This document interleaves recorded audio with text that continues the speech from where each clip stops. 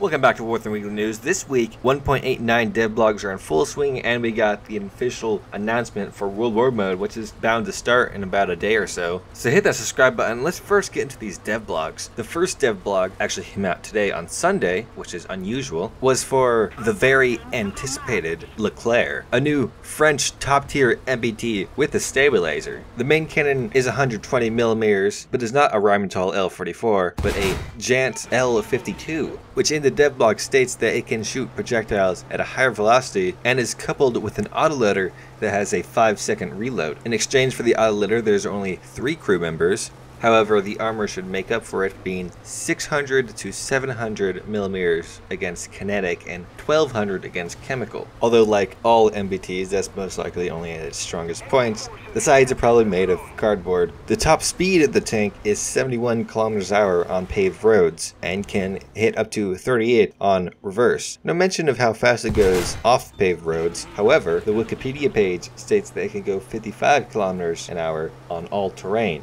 My final verdict for this tank is, is essentially a Type 90 with better armor. Perhaps if this has a proper repair cost, it could propel France into being competitive again, especially now since they have helicopters and bullpups on their top tier jet. The next newest talked about tank dev blog was for the Bradley ADATS. It's a Bradley with eight mouse guided anti-air missiles with proximity fuses and a 25mm autocannon. Now the autocannon, that's small fry, but the anti-air missiles can penetrate up to 900 millimeters of rolled homogeneous armor. So there's a good chance that you're looking at another Tunguska.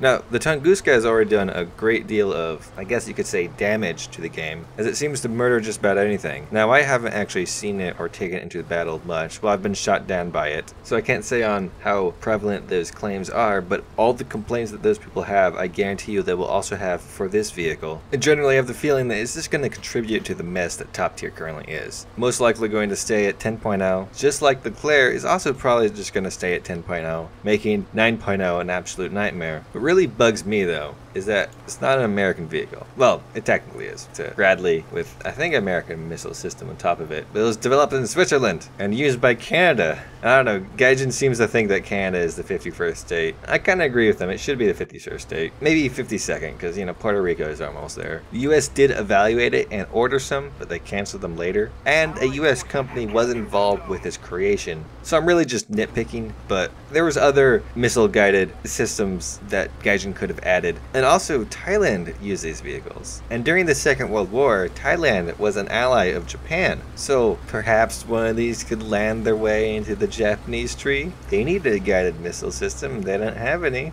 The final tank dev blog is for the 9P149 Strum S which is kind of like a Russian version of the Raketenjagdpanzer, being very low to the ground and armed only with ATGMs. However, this gets two different variants of ATGM, so I hope you like grinding. One with 560mm penetration, one with 800mm penetration. The only other major difference this has than the Raketenjagdpanzer is that it only has 14mm of armor, unlike the 50 on the front of the Jagdpanzer, which means that it's going to be extremely vulnerable to aircraft. The only aircraft dev blog was for the F-86K Sabre Dog. This particular dev blog was for one in the French tree. However, the Sabre Dog saw use all over the globe. Italy built their own Sabre Dogs and shared them with Germany and France. Japan, China, and Yugoslavia used the D variant, and of course, America designed the dang thing. Now, reading from the dev blog, I get the feeling that we're only going to see it in the French tree.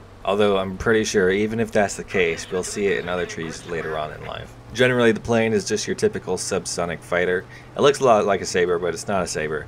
Has two air-to-air -air missiles, four 20mm M24A1 cannons. A great deal of people were rather disappointed that France is getting a US jet instead of something that they've designed themselves. But I'm pretty sure this jet is going to be going into multiple trees, not just the French one, so it's kind of a killing two stones with one bird type of deal. What I find most entertaining about the introduction of this jet is a day prior, a member of my Discord asked me if we were to see a F-86D or K variant anytime soon, and I replied with, nope, a big doubt. The first Japanese vessel dev blog was for the number 4 type CH-8 sub chaser. At first glance, this thing looks like trash, and in fact, the dev blog itself kind of plays up the prior boat number 13 type sub chaser much more. And they keep on trying to play by that the depth charges are actually going to do something and they're going to be a useful item though i doubt anyone's actually ever used them besides at a very rare chances or attempting to do it for the novelty. However if the prior boat armed with a 80mm cannon which is probably just a 76 does not have the dual 40s like this boat does then there's an obvious reason why this one would be further in the tree. Having two 40s is much more effective than an 76 millimeter cannon. The next vessel to come was for the Kuma class light cruiser, a very old ship armed with seven 140mm cannons, 8 torpedo tubes, and only two 80mm anti-aircraft guns. However, on the bright side, apparently is very maneuverable and can reach up to 36 knots. Besides that, it's got some pretty standard armor. There was a bizarre note in the dev blog near the end where it states, Therefore, Kuma captains will always have to remain vigilant and aware of their surroundings, while taking advantage of the ship's mobility and perform quick defensive maneuvers in order to avoid enemy fire, both the kind from above and below the waves. Now, many people had been theorizing this is a hint towards submarines. However, I feel it is just talking about torpedoes. Now that is all the devlogs, although there's still information to get from these devlogs, as people are always asking many questions in the comments. So while we're on the topic of submarines, let's first go over some comments that were happening in the Russian devlogs. First one I'd bring attention to is somebody asking, and they really think the depth charge launchers in-game without subs are cool, dot dot dot. And the reply was, maybe there's a hidden message in the text. Nah, that's nonsense. There was another one of sub chasers in game without subs. That's weird. So it's about time to implement subs? Reply was, who knows, maybe this CH8 devlog is a hint, winky face. A user commented, I want subs. Somebody replied to that saying the mod hinted at them twice in a previous dev blog, and then a moderator commented, shush. This is some pretty interesting evidence, because also the moderators have been hinting at the Leclerc for quite some time in a similar fashion, making jokes about it and the like. On the F86K dev blog, it was asked, the model looks good, but still waiting for a World War II vehicle that ain't a boat ship. And Cokespray, the moderator, replied with, stay tuned, always more to come. And on the Leclerc dev blog, it was asked, is Britain getting any new ground vehicles in this update? And Sim1080p replied with, yes. My assumption is this is going to be some sort of guided missile spag to go along with the ADATS. But who knows, maybe we'll finally get the bishop. On the week prior, on the announcement of the Japanese fleet, if you were to change the language to Polish, the first paragraph would make mention of the light cruiser Agano and the destroyer Yugumo. Now the Yugumo is beyond confirmed as it already has a devlog for the premium variant and the base variant was part of the closed beta tests. So putting the light cruiser Agano right next to it implies that we definitely are going to get the Agano, which was armed with six 152mm cannons, a pretty alright anti-air armament, some torpedoes, and had about 60mm of armor. This thing's about on the same level as some of the later German light cruisers. So next on the list things to talk about is World War Mode was finally announced after what has been like seven years of development. I'm pretty sure for the most of those years it was just a sticky note pinned to a corkboard. The initial announcement was only a video, very flashy trailer, but it's a trailer, never really representative of the final product. But later on a Q&A going into much more detail exactly how the game was going to be carried out was posted. However, the answers were very long-winded and commonly did not hold anything interesting. There was one, however, that stood out a bit. It sounds ambitious and interesting, but how will the mode be developed in the future? The answer was obviously we will add new scenarios and awards, implementing even more missions, and following your feedback and suggestions on the World War mode experience very closely. In the future, naval forces may also be involved in World War mode, and there may be post-war scenarios, and perhaps interesting ideas on alternative history if appropriate. And the current scenarios going on are Northwind, the Battle of Al Alamein, and the Battle of Vitebsk. Now you're probably saying, man, this looks all great or terrible, but how do I play it? Well, I'm not going to tell you how to play it. I'm actually going to link you to some very useful videos that Gaijin made. The first one is for combat troops, as they put it, but that's essentially lower ranking squadron members and those who do not belong to a squadron yet, as you don't actually need to be in a squadron to participate in World War mode. The other video is for the higher ranking members of squadrons. And it covers things like how to control stuff on the battlefield and arm your troops and all that. And honestly, I would suggest that regardless of where you stand in this, you watch both of the videos so you get an understanding of how the whole game mode is supposed to work. Those will be linked in the corner. With the announcement of World War Mode, a lot of criticism has also surfaced, as there's a lot of aspects of the game mode that people are very unhappy with. The most prevalent being that there are markers for enemy tanks, making it impossible to ambush enemy vehicles. It's kind of a mix between RB and arcade. Now, I don't like arcade tanks heavily because of the markers. There's a few other reasons, but being able to see where all your enemies are and knowing that the enemies can see where you are kills a lot of the gameplay.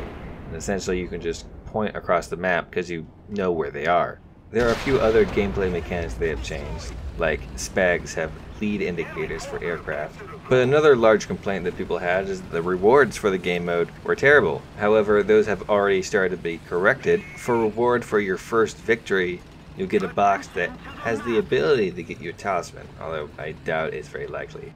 Or a modification, which I also doubt is very likely.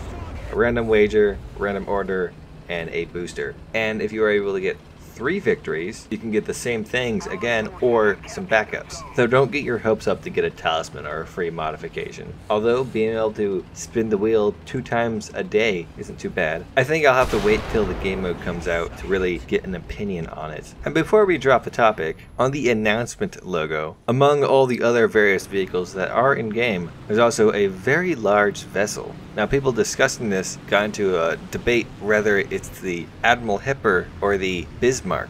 And after staring at some 3D models of those other vessels, I can confirm it is indeed the Bismarck, or maybe the Tirpitz. You can tell because the lack of AA guns on the bow, the anchor at the very tip of the bow, the size of the guns, and the number of little cross sections on the antenna things I don't know what they're called. In the comment section of the World War Mode Q&A, it was stated, and the squadron vehicles, when will they be in the game? And Sim1080p replied with, right now there are some technical issues with that mechanic, so no ETA for the moment. This is very unfortunate. Later down it, someone remarked, Gaijin forgot that one. However, Modder replied with, trust me when I tell you that we have a squadron full of moderators that are eagerly awaiting them too. Since we talked to the devs directly, we are not going to let them forget. And now for some minor news. First off, if you happen to live in Russia and love cheeseburger pizza, you can order one from Dodo Pizza and get a free T26E as a gift. Along with that, you get a day of premium and a Dodo Bird decal. A very strange promotion, although I think the strangest part is that you have to order cheeseburger pizza, which looks to have pickles and stuff on it. Why don't get you Russians? Although at least it's not pineapples. Damn Canadians. And while we're on the Russian side of the War Thunder website, you'll notice that the background is different than it is for the US. It has a Tunguska murdering some aircraft with some T-80Us, while the US side has T-2s flying by. And an update on the story about demonetization that I covered last week, Dita seems to have gotten his monetization back, at least according to him, so that's good to hear. So anyways, if you have any comments, concerns, or questions, you can hit me up down below or on my Discord. If you liked the video, hit like button. If you didn't like the video, don't hit the like button. If you want to see more, hit that subscribe button. I make War Thunder Weekly News videos every weekend. I make rain reviews throughout the week. I like to stream on Saturdays. I'm starting to stream on Twitch a bit more. So hit that bell icon to be notified anytime I upload anything. Thanks for watching. I hope you have a great day. As bonus news, somebody dug up that there is apparently a universal carrier in the files, although it's a low resolution for air battles. I was pretty sure it was my mod CT who dug it up first, or at least this time around. Though somebody else posted to Reddit to get all them Reddit points.